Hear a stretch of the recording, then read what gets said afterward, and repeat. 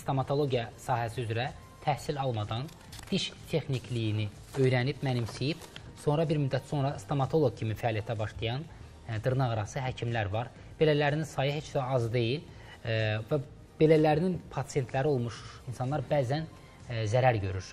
Adi müalicə, o dolğu deyirik də, blom qoyduranda belə, orada hansısa bir boşluq qalanda daha ciddi fəsadlara, Ay, damağın hətta çürüməsinə qədər, sümüyün zədələnməsinə qədər belə ciddi problemlərə gətirib çıxarır. İndi sən onu bilmirsən də ki, gedib hamıdan da diplom soruşan şey deyil Deyil ki, ki, sən hə. haranı bitirmirsən, diplomuna baxım görüm hansı universiteti bitirmirsən ya da nə oxumusan. Necə ayırt edək? Necə seçək, nə edək? Stomatoloq danışır bizim süjetdə. Deyir ki, az qala hər həftə bir xəsarətli, bir fəsadlı pasiyentlə qarşılaşırıq. Hansı ki, belə deyək, qeyri-peşəkar həkimlərin əllərindən çıxırlar. İzləyək süjeti, sonra buradayıq.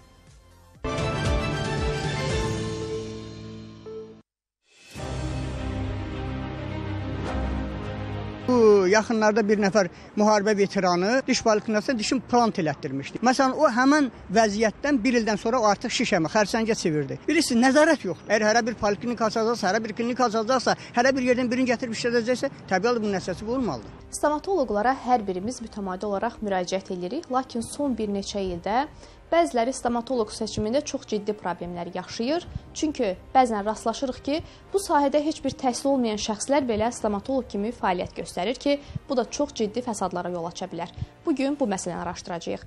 Stomatoloq seçərkən nələrə diqqət etməliyik?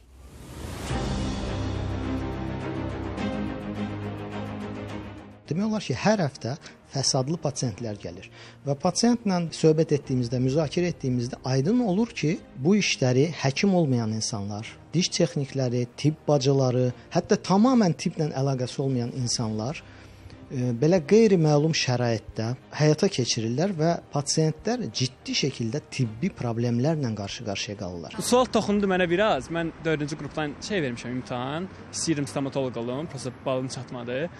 Bizim yəni tanışlar da var ki, hansılar ki, zub texnikliyi oxuyub, sonra özü üçün şəxsi bir şey açıb, orada işləyirlər.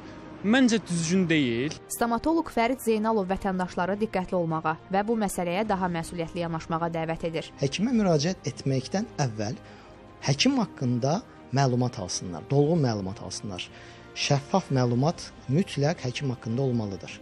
Həkimin təhsili, bu onun təs təhsilini təsdiqləyən sənədlər mütləq açıq şəkildə olmalıdır. Bəzən yanlış stomatoloq seçimi ağlasığmaz fəsadlara yol açır. O insanların savadı, təhsili, təcrübəsi, həkimlik praktikası olmadığı üçün, misal üçün hər hansı bir qanama müdaxiləsi ya da o pasiyentin halının pisləşməsi buna müdaxilə edəcək bir bilikləri yoxdur. Ölüm təhlükəsi belə var. 2. Pasiyentin infeksiyaya məruz qalması riski çox yüksəkdir. Üçüncü isə insanların dişlərini düzgün müalicə etmədikləri üçün diş çənə sistemində illərlə davam edən problemlər yaranır. Mövcud fəaliyyət istiqamətinə Səhiyyə Nazirliyinin Analitik Ekspertiza Mərkəzi nəzarət edir. Mərkəzdən bildirildi ki, bu sahədə stomatologiya ixtisası üzrə ali tibb təhsili və praktiki tibbi fəaliyyət üçün müvafiq sertifikatı olan mütəxəssislər məşğul olmaq hüququna malikdirlər. Belə müəssisələrdə tibbi xidmətin göstərilməsinə nəzarət Səhiyyə Nazirliyinin Analitik Ekspertiza Mərkəzi tərəfindən plan üzrə yoxlamalar. Bundan əlavə plandan kənar yoxlamalar şəklində aparılır. Nəzarət tədbirləri zamanı nöqsanlar aşkar olunduqda qanunvericilikdə nəzərdə tutulan qaydada inzibati tənbeh tədbirləri görülür. Təkrar aşkar edildikdə daha ciddi tədbirlər həyata keçirilir. Belə ki, İnzibati Xətalar Məcəlləsinin 215.4-cü maddəsinə uyğun olaraq sertifikasiyadan keçməyən şəxslərin praktik tibb və əczaçılıq fəaliyyətinə buraxılmasına görə vəzifəli şəxslər 800 manatdan 1000 manata dək məbləğdə, hüquqi şəxslər 6000 manatdan 8000 manata dək məbləğdə cərimə edilir.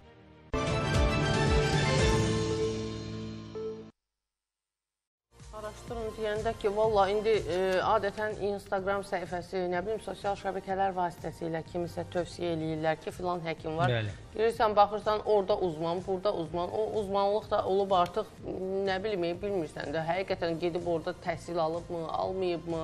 Yəni, elə peşələr var ki, bilmirəm, e, necə seçək, həqiqətən də çox çətin məsələdir, qəliz məsələdir.